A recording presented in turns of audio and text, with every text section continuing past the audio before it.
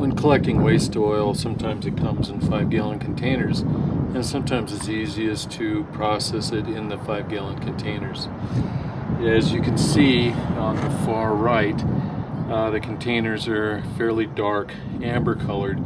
If we were to pour that oil out, you would be able to see through it. These other four containers have uh, a kind of creamy white stuff at the bottom with some amber floating on the top.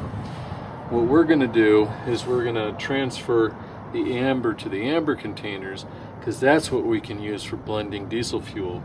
The white stuff will not blend with diesel fuel, so or uh, any petroleum distillate won't uh, won't blend with gasoline, so we can't use it for blending. But we can concentrate all the all the uh, creamy, heavy creamy uh, stuff uh, into one container and then process it into biodiesel. Once it's been turned into biodiesel, then we'll be able to blend it with petroleum distillates and uh, blend it in with a batch of fuel. Uh, the white creamy stuff is a combination of animal fat uh, um, hydro and hydrogenated oils and maybe some uh, palm kernel oil and the uh, hydrogenated oils and animal fat will not blend with petroleum distillates. So we're going to separate the two out. The other thing is, is the white stuff solidifies at uh, near room temperature, whereas the amber colored clear, relatively clear liquid will remain liquid down to about freezing. And then if we add gasoline to it, it'll keep it liquid down to about uh, zero Fahrenheit, which is minus 18 C. When I first get waste oil from a restaurant that uses cooking margarine, it looks creamy like this. This oil has been settling for about a week so that the creamy component is settled pretty well to the bottom of the container and we have the amber liquid floating at the top. And what I'm going to do is I'm going to carefully pour the amber liquid off the top into the container and uh, attempt to avoid pouring the creamy liquid at the bottom. And what I'm going to do, the best way to, to see what's going on is to allow the light to pass through the oil so that you can, it'll illuminate the oil better so we can see what's going on. So I'm now carefully pouring the liquid off the top as you can see, it's a, a clear amber color, and I'm pouring very slowly to keep the creamy white. And I'm just starting to see the creamy white now coming through, so I'm going to stop. And as you can see, I got most of the amber oil off the top. I've now got three containers that are mostly the creamy uh, hydrogenated oils at the bottom of the containers. I'm going to combine them into one and let them settle for about a week. And all these small lines of amber oil will rise to the top and combine, and there will be enough for me to pour off the top into my uh, amber oil containers that I'm going to turn into diesel. It's very useful to have some basic tools for handling small quantities of waste oil like five gallon containers. So I bought a large funnel uh, at an auto parts store that's used for fuel. And I use that in the uh, to pour oil into the container without making a mess. I also put a drip pan on the bottom. And what I'm going to do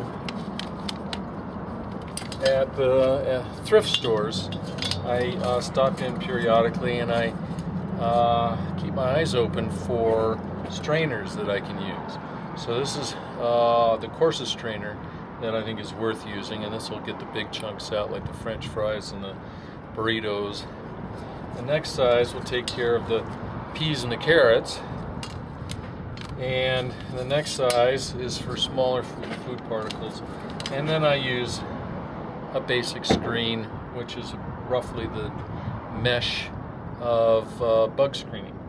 And I put the coarsest screen at the top in the innermost basket and the finest screen at the bottom and the outside.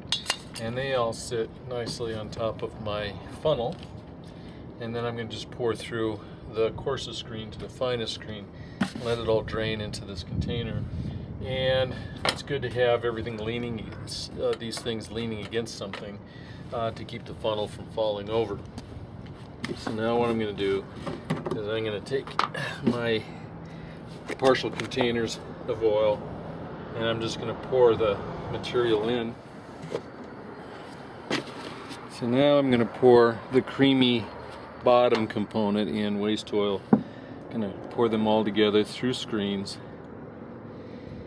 and screen out whatever food particles I can screen out.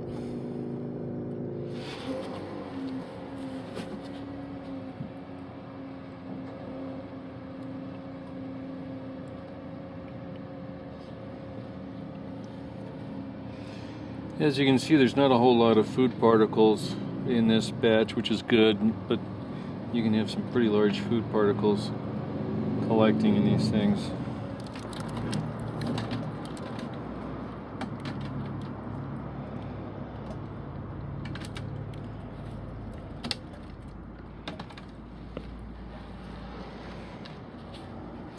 As you can see, there's some pretty nasty stuff that can accumulate in the bottom of these oil containers and you want to do your best to uh, screen that stuff out. So let's see how our screens did. The coarsest screen got large corn chips and large food particles. The next size down got also a fair number of food particles. The next screen didn't get that much. It, it got a few, but not a whole lot. And then the finers of the screens got a fair number of small food particles. So we did a pretty good job of cleaning up our waste oil. And this is just preliminary cleaning. There's a lot more cleaning that goes on. Mostly uh, just by adding gasoline, the particles will precipitate out and uh, the water will also precipitate out and then uh, and then we'll uh, uh, run it through a one micron filter and it'll be clean enough to burn in the engine without causing problems.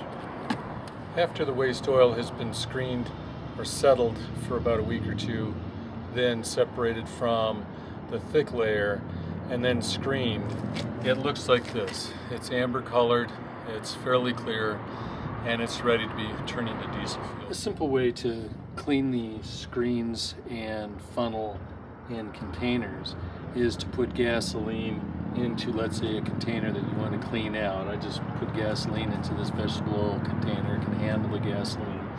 And now I'm going to uh, pass it, I'm going to add it to the vegetable oil in this container uh, for to start the blending and settling process and I'm going to use the uh, dirty gasoline to uh, clean my funnels and screens and containers process.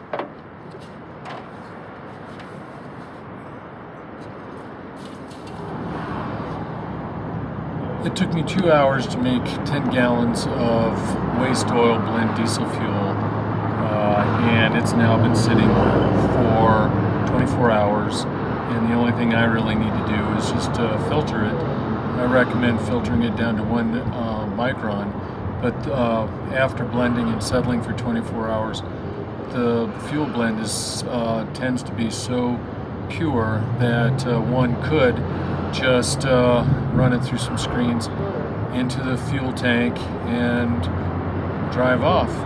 It can be that simple. After settling the waste vegetable oil or waste oil blend diesel fuel uh, for 24 hours, then uh, I recommend doing a little bit more screening than uh, than what I did yesterday. And what I'm doing is I'm adding a painter's uh, screen onto the bottom of my finest screen. And I'm going to just stack them all up again, like I did yesterday. And now we're going to run now we're going to run the blend through. And again, we want to be careful not to disturb the fuel because the contaminants will have precipitated out to the bottom of the container. And we'll keep our eyes open for any contaminants coming, uh, being poured out. So it's good to have good light on the fuel.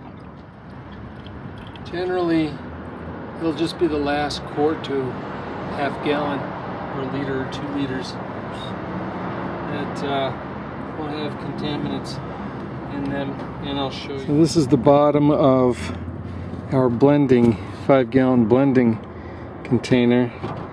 And if you can see, it's pretty dark and sludgy down there. Uh, small food particles have accumulated.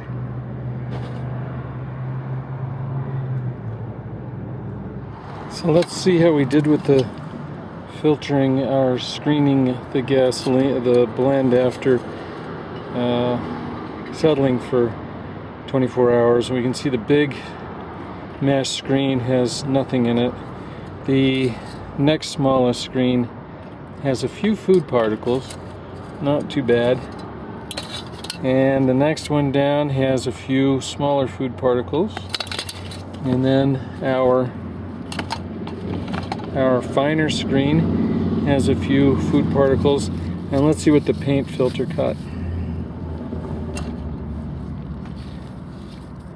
Ah, and the paint filter caught a few particles